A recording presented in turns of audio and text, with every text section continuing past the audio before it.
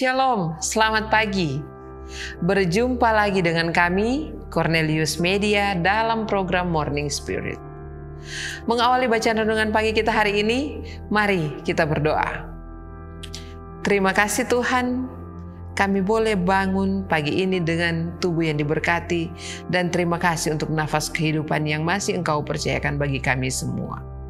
Saat ini Tuhan, Sebelum kami memulaikan aktivitas kami di hari ini, kami mau belajar firman-Mu. Kami memohonkan tuntunan roh kudus-Mu ya Tuhan. Ini doa kami, dalam nama Tuhan Yesus kami bawa doa ini. Amin. Judul renungan pagi kita hari ini, Rabu 13 April 2022 adalah Perolehlah Hikmat. Dan ayat inti kita terdapat di dalam Amsal 4 ayat 7. Permulaan hikmat ialah perolehlah hikmat dan dengan segala yang kau peroleh, perolehlah pengertian. Pendidikan yang benar tidak mengabaikan pengetahuan yang bersifat ilmiah atau pengetahuan kesusastraan. Tetapi di atas informasi mempunyai kuasa yang bernilai. Di atas kuasa adalah kebajikan. Di atas pencapaian intelektual adalah tabiat. Dunia ini tidak begitu memerlukan orang-orang pandai, lebih daripada orang-orang yang mempunyai tabiat yang agung. Pendidikan memerlukan orang yang kesanggupannya dikendalikan oleh prinsip yang teguh.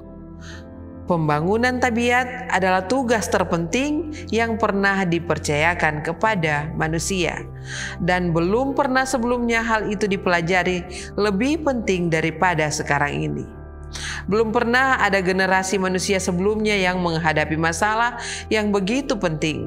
Belum pernah sebelumnya anak-anak muda, pria dan wanita menghadapi bahaya yang begitu besar daripada yang mereka hadapi sekarang ini.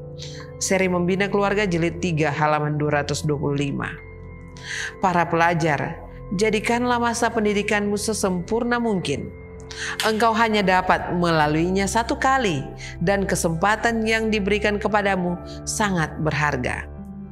Engkau bukan hanya belajar, tetapi juga mempraktikkan pelajaran dari Kristus. Saat mendapatkan pendidikan, engkau memiliki kesempatan untuk membagikan kebenaran-kebenaran yang indah dari firman Allah. Gunakan setiap kesempatan Allah akan memberkati setiap menit yang digunakan dengan cara demikian. Pertahankan kesederhanaan dan kecintaanmu pada jiwa-jiwa, dan Tuhan akan menuntunmu ke jalan yang aman. Pengalaman kaya yang engkau peroleh akan lebih berharga bagimu daripada emas atau perak atau batu mulia. Engkau tidak tahu untuk posisi apa engkau akan dipanggil di masa depan. Tuhan mungkin menggunakanmu seperti Dia menggunakan Daniel untuk membawa pengetahuan tentang kebenaran ke bumi yang perkasa. Terserah padamu untuk mengatakan apakah engkau akan memiliki keterampilan dan pengetahuan untuk melakukan pekerjaan ini. Tuhan dapat memberi padamu keterampilan dalam semua pembelajaranmu. Counsels to Teachers halaman 554 555. Saudaraku, ketika kita mempunyai kesempatan untuk mendapat pendidikan, baiklah kita menjalani itu dengan sepenuh hati. Karena di atas pencapaian intelektual kita adalah tabiat agung.